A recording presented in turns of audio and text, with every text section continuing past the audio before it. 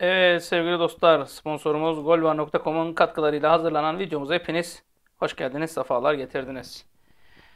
İnşallah bu kısımda sizlerin beğenisine sunduğumuz bu videoya güzel beğeniler gelir. Sıcağı sıcağına en merak ettiğiniz konuyla başlıyorum. Normalde biraz sündürürdüm, içeri falan atardım ama. Ali Koç, Jorge Jesus ile görüştü. Haber bu. Şimdi ben de sizler kadar şaşkını merak etmeyin. Aynı şekilde haberi okumak istiyorum. Fenerbahçe gelecek sezon teknik direktör araçlarını Başkan Ali Koç. Atlıyorum arkadaşlar. İnşallah bu ne biçim öğretmen lan okumayı bile bilmiyor demezsiniz. Teknik direktör Jorge Jesus, Jorge Jesus ile görüştüğü ifade edildi. Ee, gelecek sezon Jorge Jesus. Portekiz basınından Abola'nın haberine göre yani ha şeyin Portekiz'in fanatiğinin haberine göre Portekiz'in takviminin haberine göre Fenerbahçe Başkanı Ali Koç'un bu hafta içinde Portekizli teknik direktör Jorge Jesus'u ikna etmek için bizzat Portekiz'e gittiği duyuruldu. Şimdi Ali Koç Portekiz'e gidecek. Hadi beni geçin. Hadi beni geçin sosyal medyada. Ahmet var. Ahmet Dur. Ahmet abi var. Cengiz abi var. Ne bileyim başkaları var. Hasan Can var. Hasan Can Aksu. Ya hadi beni geçin. Bunlar uçağından haberdar olmayacak. Ulan bunlar Ali Koç'un iftarı neyden açtığını bile biliyorlar. Neyden açıyor? Ali Koç oruç tutmuyor ki diyorlar. Ya o kendi günah ben bir şey diyemem ona. Yani bu adamlardan sekecek de Ali Koç herkesten habersiz Portekiz'e gidecek. Hiç inandırıcı değil. Ali Koç'un Jorge Jesus'u ikna etmek için bu yola başvurdu ve Portekiz'de teknik adamın isteyeceği birçok şartı kabul etmeye hazır olduğu öne sürüldü. Ya 10 milyon euro vermeye hazır yani. Başkan Ali Koç'un Jorge Jesus'u takımın başına getirmek için en büyük kozunun yüz yüze yapılacak olan görüşme olduğu ancak deneyimli teknik adamın kesin kararını Mayıs ayında vereceği ifade edildi. 2015 yılında da adı Fenerbahçe ile anılan Jorge Jesus Aralık ayında Benfica'dan ayrılmıştı. Benfica'dan ayrılıp Sendika'ya geçmişti. Sendika, Benfica. Bakalım sıradaki hedefi hangi tikalı mikalı bir şey olacak. Ee, Türkiye İstatistik Kurumu'na falan geçsin. Değişik yerlerde şey yapsın. Ya arkadaşlar ben size bir şey söyleyeyim mi? Bütün samimiyetimle söylüyorum. Hiçbir zaman Jorge Jesus olmaz. 3 tane aday var dedim Ali Koç. %100. Şimdi şu andan itibaren duyacaklarınız üyelere ne söylüyorsam siz de aynısını duyacaksınız. Üyelere ne söylüyorsam siz de şu anda aynısını duyacaksınız. Bilginiz olsun yani üyelerden bir farkınız şunuz bununuz yok. Anlatabiliyor muyum? Şimdi 3 tane aday vardı. İlk etapta Ali Koç'un kafasındaki ilk ve tek aday Joachim Löw. Ancak şimdi Löw'e giderseniz biz tek seninle görüştük şöyle böyle derseniz adam sizi parmağında oynatır. İkincisi evet gerçekten Jorge Jesus'tu. Gerçekten Jorge Jesus'un şartları soruldu. Evet yüzde yüz soruldu. Üçüncü isim de Niko Kovac. Bakın arkadaşlar dikkat edin. E, neydi o Beşiktaş'ta eski? Piliç. Şey Bilic Bilic. Ne Bilic'in adı geçiyor değil mi? Hatta ne Bielsa'nın adı geçiyor. Ne Bilic'in adı geçiyor. Ne Nenad Bielitsa'nın adı geçiyor. Başka kim vardı? Roger Schmidt. Bir tane sakallı bir amca var. Ee, o amca sürekli getiriyordu Schmidt'i. Ne bunun adı geçiyor. Üç tane adayla görüştü. Üçüyle de yüzde yüz görüşüldü.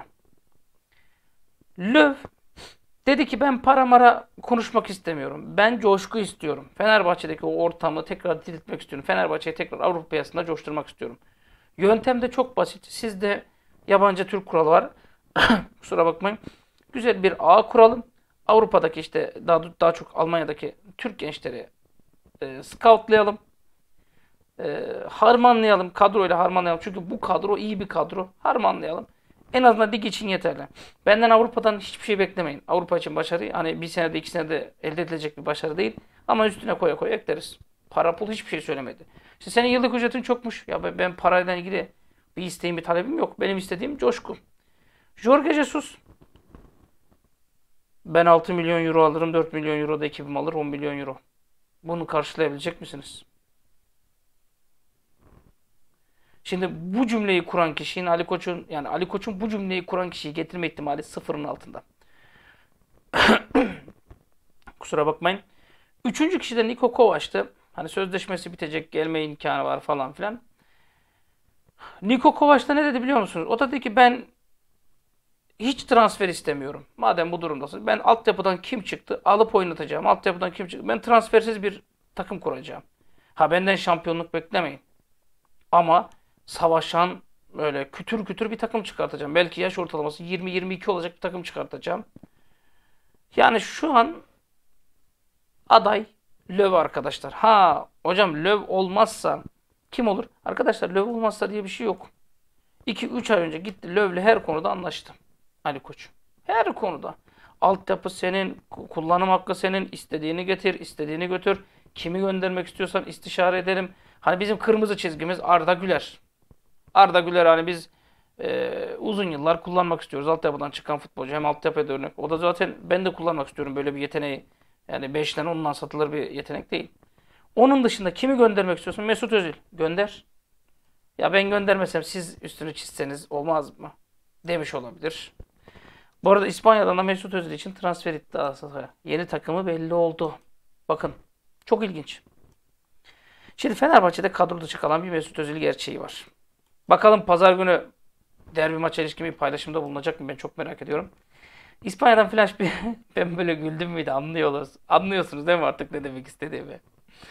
İspanya'dan flash bir iddia gelmiş. Ozan Tufan'la birlikte kadro dışı bırakılan Mesut Özil henüz affedilmedi. Affedilmeyecek de. Yani Ali Koç'a ilk defa güvenmek istiyorum. Sözünü yemezse sezon bitecek yine affedilmeyecek. Yani sezon bitecek yine affedilmeyecek. Ben onu söyleyeyim. Asıl olan Fenerbahçe'ye. Hani şimdi asıl olan Fenerbahçe'dir lafı şu demek arkadaşlar. Ya Fenerbahçe başkanı falan filan e, kişisel egosunu tatmin ediyor falan filan. Hani bir nevi yem ediyor. Şimdi iki futbolcunun hangi gerekçelerle kadro dışı bırakıldığına dair bilgi verilmemiş. Almanya'dan Bild, Mesut Özil ve İsmail Kartal arasında yaşanan tartışmanın kadro dışı kararında büyük etken olduğunu iddia etmiş. İsmail Kartal'la tartışma yaşamış. Bild bunu iddia etmiş. E, zaten bizim basında bunu iddia ediyor. Muhtemelen bizden almıştır. Konya ile oynanan maçta Mesut Özil'in soyunma odasında İsmail Kartal'a Almanca küfürler edip kramponlarını yere fırlattı ve bu davranışında kadro dışı ile cezalandırıldığı ifade edilmiş.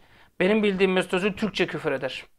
Adam şey, Şampiyonlar Ligi maçında bile Cüney İt Çakır'a güzel küfürler etmişti. Yani Türkçe anlaşılır şekilde. Ki e, herkes de şahit olmuştu yani. Güzel etmişti küfürü anlaşılır bir şekilde. Yani orada lafını sakınmayan adam İsmail Kartal'dan da sakınacak. Ki İsmail Kartal'ın Almancası var. E, neyse iddiada bulunmuşlar. Bazı MLS takımları Mesut'la ilgilendiğini iddia etmişler. İngiltere'den Hull Daily Mail ise Hull City'nin Mesut Özil ile ilgili bir hamle yapabileceğini iddia etmiş. İspanya'dan az MLS'deki ekimde, ekiplerinden Inter Miami demiş. Inter Miami haberine geçeceğim şimdi detaylı olarak. Ee, Hull City demiştir. Hull City'nin şu an için bir girişimi yok. Bilginiz olsun.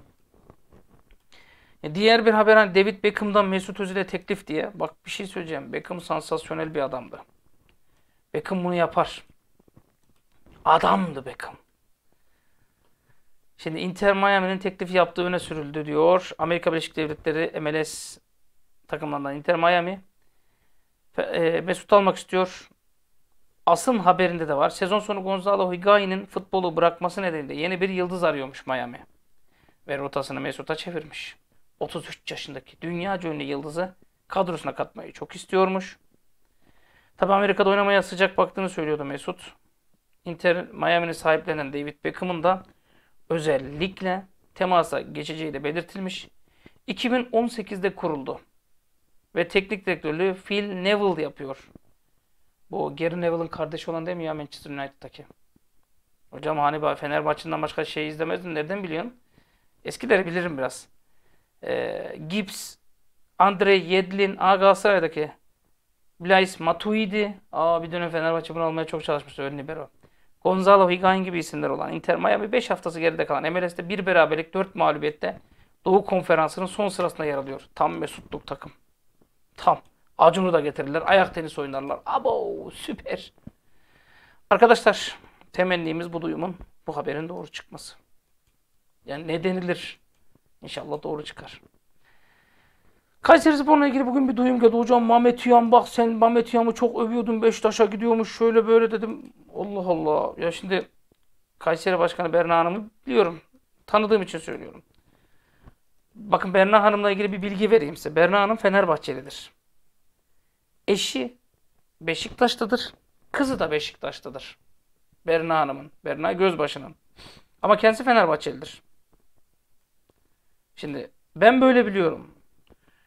Ama Kayseri'de bazı arkadaşlarım diyor ki sen tam tersi biliyorsun. Berna'nın kendi Beşiktaşlı diyorlar Berna Hanım'ın. Eşi Fenerli, kızı da Fenerli diyorlar. Allah Allah diyorum. Zaten eşi Fenerli olsa kızı da Fenerli olur mantık olarak. Fenerbahçeli babaların çocukları kolay kolay başka takımda olmaz da. Ee, neyse Berna Gözbaşı bir açıklamada bulunmuş. Demiş ki e, bundan e, Mehmet Tiam'ın Beşiktaş'a transfer olacağı haberlerine tepki göstermiş. Demiş ki bundan Tiam'ın Ahmet Nur Çebi'nin ve Berna Gözbaşı'nın haberi yok. Bırakın şu menajer algısı, piyasa yapma ve futbolcu kafa karıştırma haberlerini lig devam ederken ayıp, ayıp demiş. Hani e, erkekçe haber yapma diye bir şey var ya. Bir kadın tarafından yediğiniz tokat sayın. Hem de ağır bir tokat sayın. Osmanlı tokatı sayın. Mehmet Yam 3 milyon euro piyasa değeri var. 2024'e kadar Kayseri Spor'un futbolcusu. Bitti. 4 kez Senegal milli, Senegal milli takımına seçildi ki Fenerbahçe'deyken seçildi. Performansına bakıyorum. Muhteşem bir performans. Yani 1693 dakika total olarak yaklaşık 18 maç. 10 gol 4 asist. Son haftalarda da oynamıyor. Kayseri Spor'da çok tercih edilmiyor. Niye tercih edilmiyor ben de bilmiyorum. Yani ee, tercih edilmiyor. Bakalım Göztepe maçında oynayacak mı? Çok ilginç bir futbolcu Tiam. Şimdi Tiam'ı Fenerbahçe'den kovdunuz. Tiam'ı kovarken yani Tiam'ı Fenerbahçe'den kovarken işinize yaradı mı? Bilmiyorum. Hani gitmeseydi daha mı iyiydi? Hani şu performansı gösterebilir miydi? Bilgim yok. Bir şey diyemem. Ama e, Tiam'ın gitmesi Fenerbahçe açısından kardı. 1,5 milyon euro para kazandık. Bakın Gavramovic mesela. Kayseri Spor'un forveti. 700 bin euroya Dinamo Zagreb'den aldılar. 32 yaşında. Bak 32 yaşında. Fenerbahçe taraftarına anlatamadım arkadaşlar bunu. Adam bu sene 29 maç 1853 dakika. Yani 21 maça çıkmış 13 gol 3 asist. Süper Lig'de 1505 dakika. Türkiye Kupası'nda 93 dakika yani 1598 1600 diyelim. Toplamda 24 maçta 12 gol 3 asist. Yani bize de böyle bundan daha iyi bir şekilde gol atacak forvet nasip olur inşallah. Ee, Ivan Perisic arkadaşlar ısrarlı bir şekilde söylüyorum. Evet Fenerbahçe'yi isteyenlerden biri. Ben de keşke alsak etsek diye. Ama Perisic %100 olarak Inter'le sözleşmesini uzatacak. Herhangi bir şekilde beklemeyin. Bunu da söyleyeyim. Taliska. Taliska ile ilgili duyum verdim. Dün kaynağım diyor ki sen diyor dikkat ettim diyor. Diyorsun ki diyor videoda diyor işte Selahattin Baki ile birlikte ha, o zaman iptal tamam. Tamam o zaman iptal olmayacakmış. Tamam duyum, du, duyum geldi olmayacakmış diyorsun diyor. O inceyi diyor kimse anlamadı herhalde diyor. Ya Selahattin Baki cümlesinde yok bir kişi anlamış bir kişi yorumda yazmış gördüm. Adı aklımda değil kardeşimizin de bu videoda yorum yazsın. Hocam diyor sen de diyor Selahattin Baki dediğin anda ben dedim tamam o zaman iptal dedim diyor. Bir kardeş de var yani. Tek değilim. Şimdi Fenerbahçe Yönetim Kurulu işte Selahattin Baki Taliska gündemimizde yok demiş. Yani Selahattin Baki yok diyor ama Ahmet Ercanlar var diyor. Ahmet sen çocuk musun ya? Ahmet sen, sen, sen çocuk musun ya? Sen çocuk musun? Diyordu Aziz Yıldırım. Vallahi Ahmet Bey'in de kendince duyumları vardır. Yani Ali, Aziz Yıl şey Ali Koç'la çok haşır neşirler biliyorsunuz.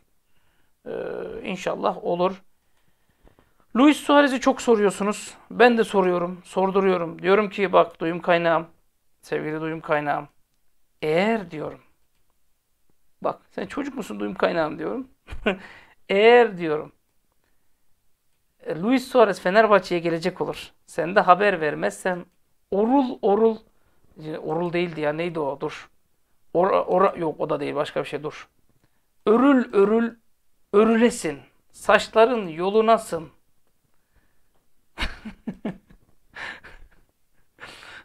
Ekmek at ola, sen it ola.